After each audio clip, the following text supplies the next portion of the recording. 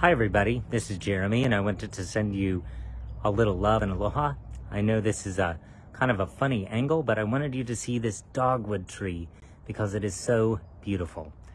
And I also wanted to tell you about something good that we'll be starting uh, or returning to at church on Sunday.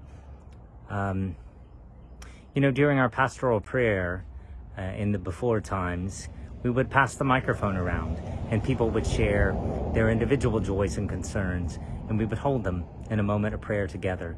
Uh, with our YouTube service, we didn't want to, um, you know, put people's private concerns onto the internet, so we haven't been able to do that. But what we'll start next week uh, for the on-site service and the online service, we will carry the microphone around again and share our personal joys and concerns if we're comfortable doing so. That will exist only in the live stream service.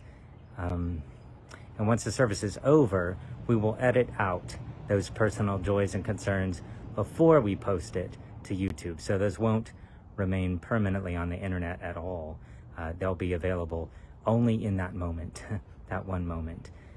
But it will be a real joy to be together and to pray in real time, on site and online, to hear in people's voices the joys and concerns uh, we each have, and to hold each other in prayer uh, in a way that's that's familiar to us.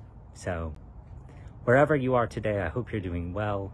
Uh, reach out, let us know how you are. Uh, but I send much love and aloha.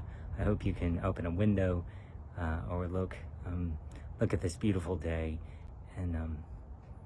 just take good care of yourself.